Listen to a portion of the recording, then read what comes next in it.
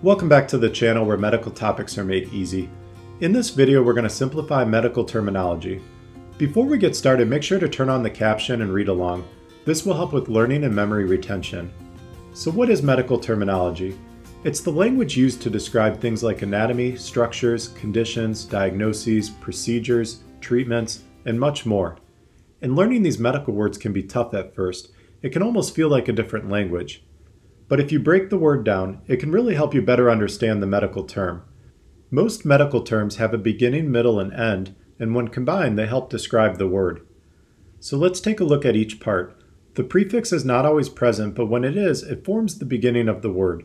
The easy way to think of the prefix is it's generally the descriptive part of the medical term, so it helps describe characteristics like a location, direction, number, quantity, amount, size, or color.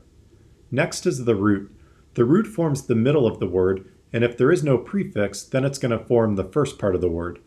The easy way to think about the root is it gives the medical term its core meaning. It's the subject of the word, and it often pertains to a body part or system. Finally, we have the suffix, which forms the end of the word.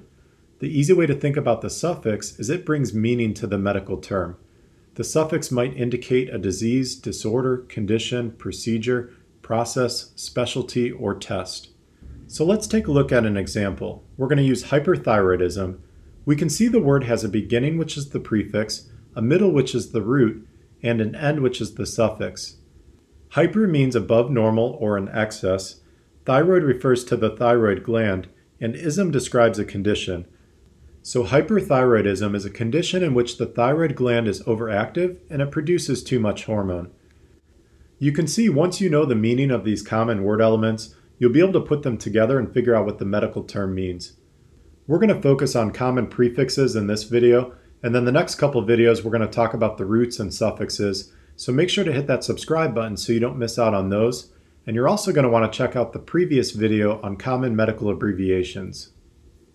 Let's begin with common prefixes that describe a quantity, so these are things like numbers or amounts. Hit pause in the video and see how many you can name, or if you're just learning medical terms for the first time, then you can watch the video a second time and see how many you get right. Starting with mono, this means one or single.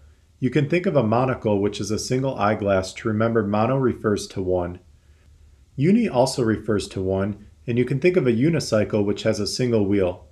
The prefix bi, di, or diplo means two or double, and tri refers to three or triple. You can think of a bicycle which has two wheels and a tricycle which has three wheels. In medical terminology, you can think of your biceps and triceps. Biceps means two heads or parts, and triceps means three heads or parts. Next, we have the prefix qua, which means four or quadruple. You can think of a quadrilateral here, which is a four-sided shape or figure. Or in medical terms, you can think of your quadriceps, which contain four parts or muscles.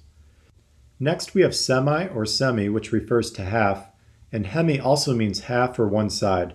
So you can think of a semicolon, which is a half of a colon. Next we have the prefix equa or iso, which means equal, and you can think of an equilateral triangle which has three equal sides in length. Finally we have eu and normo, which both mean normal. So in medicine you can say euglycemic, which means a normal level of sugar in the blood, and normotensive, which means normal blood pressure. We have a few more prefixes that have to do with quantities and also a couple that have to do with sizes that are included here as well. Again, hit pause and see how many you can answer correctly. First, we have hyper, which means above normal, in excess, high, or elevated. You can think of a hyper child who has a lot of energy. To help you remember, hyper refers to overactive or above normal. Hypo is the opposite. It means below normal, deficient, low, or decreased. For example, hypoglycemia is the state in which blood sugar or glucose is low. Next, we have a or an, which means absent or lacking. This is easy to remember, just use the a to remember the word absent. An example in medicine would be anoxia, which is the absence of oxygen reaching the tissues and organs.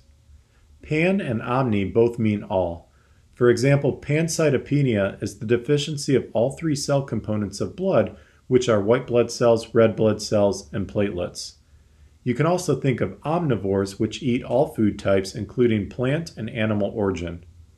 Multi or multi and poly both mean many or a lot. This is easy to remember, just use multi to think of multiple. Or you can think of polygon, which is a shape that has multiple sides.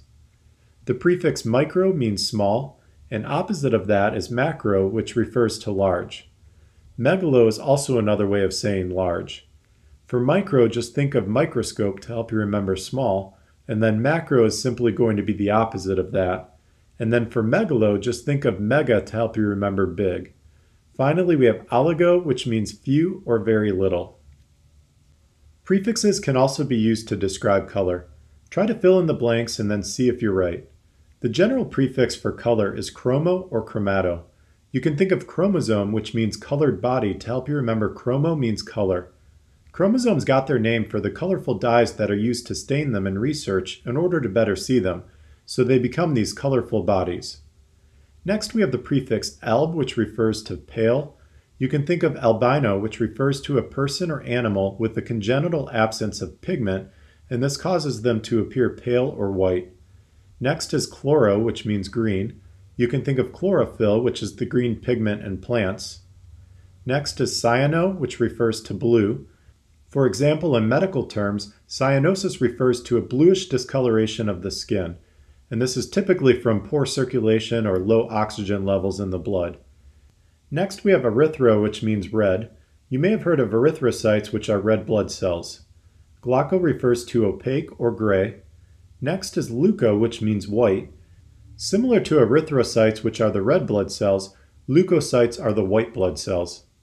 Melano or melano means black. You can think of melanoma, which is a cancer of the melanocytes, and the melanocytes are what produce melanin and the dark pigmentation of the skin. Another prefix for gray is polio. Porphyr means purple, and the prefix rhodo means a rose color red. Finally, we have xantho, which refers to yellow. There's a medical term called xanthochromia. So if we break the word down, we know xantho means yellow and chromo means color. Xanthochromia refers to the yellow color seen in cerebrospinal fluid several hours after a bleed into the subarachnoid space, usually from a subarachnoid hemorrhage. So you can start to see that by breaking down the word and knowing the meaning for common prefixes can help bring meaning to the medical term. Next we have prefixes that have to do with time and speed. How many can you name before looking at the answers? The first two are easy. Pre means before and post means after. You can think of preoperative, which refers to the period of time before a surgery, and postoperative, which refers to the time after a surgery. There are two more prefixes that can mean before, and they're pro and ante. An example medical term is antepartum, which refers to before childbirth. Next, we have the prefix re, which means again. This one is easy to remember. Just think of the word repeat to help you remember the prefix re means again. Then we have retro, which means back or backward. You can think of retro with fashion, and when something is retro, it's from the past, and this will help you remember retro means backwards. Neo means new, and you can think of neonatal, which refers to a newborn child. Next is chrono, which refers to time. You can think of things being in chronological order, which refers to the order in which events occurred from earliest to latest. The last two prefixes, tachy and brady, both refer to speed. Tachy means fast, and brady means slow. These terms are frequently used with the heart. Tachycardia means a fast or rapid heart rate, and bradycardia refers to a slow heart rate. Another example is tachypnea, which is a fast or rapid respiratory rate. Let's move on to prefixes that have to do with location or position. Some locations have more than one prefix that can be used, so we're going to make it easy by using the green box to label and visualize the different positions. Beginning with the first four prefixes, which are epi, hyper, supra, and super, they all mean above, upon, or on.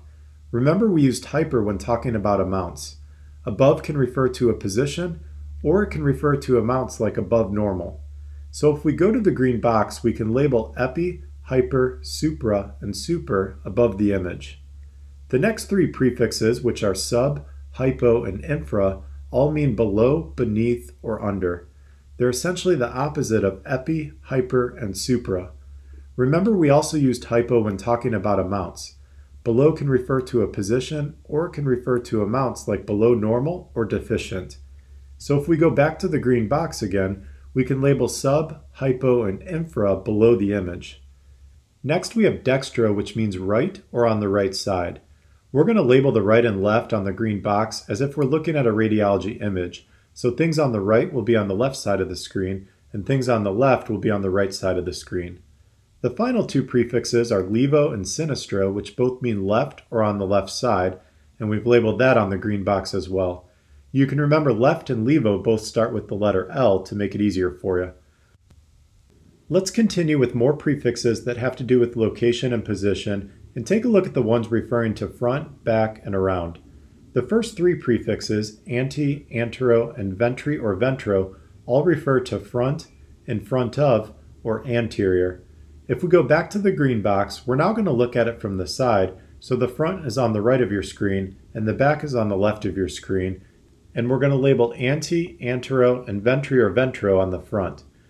You might remember we used ante when we talked about time. So ante means before, and the before can be used as a time, or before can be used as a position, meaning in front of. There are a couple tricks to remember that all these terms mean anterior. Ante, antero, and anterior, I'll start with ante, so that's pretty easy. And for ventri, you can think of ventriloquist, which means stomach talker. The stomach is in the front, which can help you remember ventri means to the front. The next two prefixes are postero and dorsi or dorso, which mean back, behind, or posterior, and we're going to label those behind the box. Postero is essentially the opposite of antero, and dorsi or dorso is the opposite of ventri or ventro. Postero sounds like posterior, so that one's easy to remember. And for dorsi, you can think of a dorsal fin on the back of a fish or a shark to remember back. Finally, we have peri and circum, which mean around or surrounding and we'll label those with a circle around the square. You can also use the circle to think of peri and perimeter, and circum and circumference to remember these terms mean around or surrounding. As we continue with location and position, there are also prefixes that have to do with inside, outside, away, toward, and through. So let's take a look at those. Endo, intra, and intro all mean inside, internal, within, interior, or inner, which we're going to label inside the box. You can think of endoscope, which is an instrument used to view the inside of the body, and you can also remember that intro and intra, along with inside, internal, inner, and interior, all begin with the letters IN or IN. The opposite of that is exo, extra, or extro, which all mean outside, external, exterior, or outer, and we're going to label that outside the box. You can think of an exit sign which takes you outside and begins with the letters EX, the same way that exo, extra, and extro do. You might also see the prefix ecto, which means outside as well. Think of ectoderm, which is the outermost layer of cells and tissues in an embryo. Next, we have ab, which refers to moving away from, and we have ad, which means moving toward. In medical terms, abduction and adduction are commonly used to describe the extremities moving away or toward the body. So for example, abducting the arms or legs, that's abducting, means moving them away from the body. And adducting the extremities, which is adducting, refers to moving them toward the body. The easy way to remember this is to think of adduction and add, and you're adding to the rest of the body. Finally, we have trans, which means through or across. You can think of transfer or transportation, which is the movement across two points, or translucent or transparent, which is light going through or across something. Let's wrap this up with positions and locations that refer to middle, lateral, nearby, and between. Meso along with meta or medio or media all refer to middle or midline. It's easy to remember because they all start with the letter M. An example medical term is mesoderm, which means the middle layer of an embryo, the same way that ectoderm meant the outside layer. Next, we have the prefix latero, which means lateral or to one side. It's easy to remember because latero and lateral sound the same. Next, we have para, which refers to nearby, alongside, or beside. You can think of a parachute, and if you're going to jump off a plane, you want your parachute alongside or nearby you. You can see we've got a red box labeled para nearby the green one. Juxta means next to. You can think of juxtapose, which means putting two or more things side by side. You can see we've got our green juxta box next to the main green one. Next we have inter, which refers to between. Make sure to not confuse inter with intra or intro, which means inside. Ambi or amphi mean both or both sides. You can remember ambi and ambidextrous, which is the ability to use both hands equally well, and you can use amphi and amphibians, which live in both the water and on land throughout their life cycle, and these terms will help you remember both. Finally, we have ipsi, which means the same, and contra, which means against. These are typically used with the medical terms ipsilateral and contralateral, where ipsilateral means the same side as what is being referenced, versus contralateral is the opposite side of what is being referenced. So if we reference two things on the same side of the green box as depicted by the stars, then they're ipsilateral. But if we reference something on the other side of the green box in relation to the first star, then that second star is contralateral. Hopefully this helped you better understand medical terminology and prefixes. If you found the video useful, please hit the like button and comment down below. Make sure to subscribe to not miss out on the next medical terminology video, along with other future medical topics made easy. You can find all of the notes and tables for this video on the website linked down below in the description. Thanks for watching and hope you check out future videos.